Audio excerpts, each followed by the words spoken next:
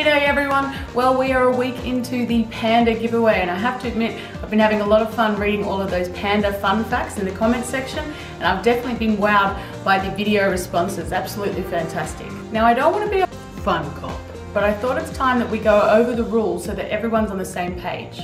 As stated in the Did You Know I'm Having a Panda giveaway video, you can only enter once. The first way is by sharing a Panda fun fact in the comments section and putting did you know in front of it. That will give you one entry. Comments without did you know in front of the fun fact will not be eligible for this giveaway. The second way to enter is by making a video including a Panda fun fact and putting the link in the description with did you know I made a video in front of it.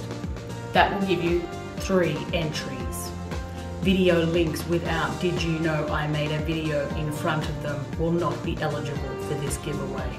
Ask yourself, do I want one entry or three entries? Although some people have done both, a comment and a video, oh, you want to enter both ways? You can't. Three is the maximum entries per person. I know this is a little different to other giveaways out there, but this is Andrea's channel, Andrea's rules and I thought it would be a cool way to encourage others to make videos. Speaking of videos, there are 10 entries and people who have made videos already in the playlist. Thank you so much to those people. I love watching them, it's really good. There's just under two weeks until the giveaway closes, so it's plenty of time to make a video if you would like. And remember, there will be a bonus prize for my top pick of all the videos. The drawing will be on Friday the 29th of April and hopefully Fun Cop will not be there.